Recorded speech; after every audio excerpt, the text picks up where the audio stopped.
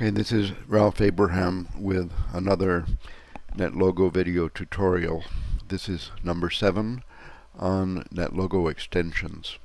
We're going to examine the code in this uh, NetLogo model that has uh, one turtle and some of the patch patterns that we've seen before and uh, has a new button called test sound and clicking this uh, we get this little ringtone.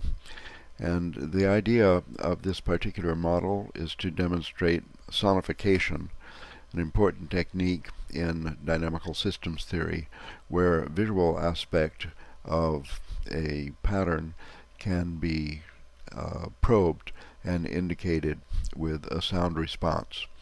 So in this case, after pressing setup to clear the screen, and show the one turtle which is going to draw a line, I'll introduce patch pattern and then press go. Every time the yellow turtle encounters a green a green patch, it rings the uh, the, the tone that, that's the idea. So the turtle is searching for patterns that are green and giving a sonic uh, report whenever finding. And this demonstrates the use of the sound extension of NetLogo, which is uh, typical of the several extensions that you can read about in the user manual. So looking at the code tab here, we have in the first line it says extensions sound uh, because extensions to be used have to be declared at the top of the uh, procedure page. Then under uh, setup we have uh, clear all and then create one turtle which has a kind of a irrational heading and the yellow color the size 3 and has the pen down to draw a line so we can see where the turtle goes. Uh, when you press the go button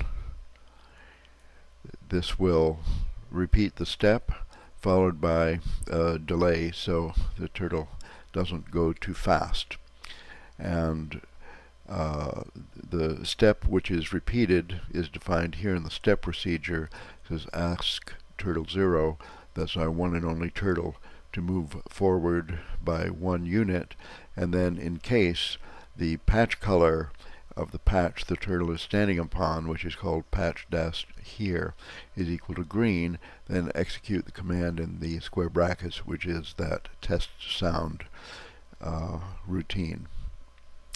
The test sound routine is right here under the, the go procedure, and uh, these commands preceded by sound colon are calls to the sound extension and the commands in the sound extension which are used here, uh, there are just two of them, play note and play note later. They are described in the user manual under the sound extension item in the menu. The arguments for play note, there are one, two, three, four of them are the musical instrument. I chose trumpet. The MIDI note number, uh, which is uh, MIDI note numbers are uh, key numbers on the piano keyboard with uh, 60 indicating middle C. Uh, the volume, 64 for the volume, is just a moderate uh, volume and in NetLogo and in MIDI technology in general, the volume is called velocity and the duration in seconds. So hold this uh, note, start immediately upon the command play note and hold that middle C note for three tenths of a second. The play note later arguments have one more so these four are the same as the play note arguments but the first argument is the delay before issuing the play note command. So we wait a tenth of a second and then hold the tone only for two tenths of a second and this note 64 is the E above middle C. Uh, finally, wait two tenths of a second and then play note 67, same volume for a tenth of a second.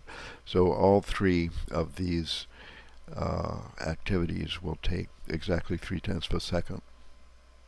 And uh, 67 is the G above middle C, so these three tones comprise the major triad in the key of C. Okay? And uh, that's how we use the sound extension.